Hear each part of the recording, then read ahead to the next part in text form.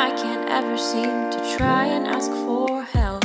I'm sitting here crying in my prom dress. I'd be the prom queen if crying was a cause.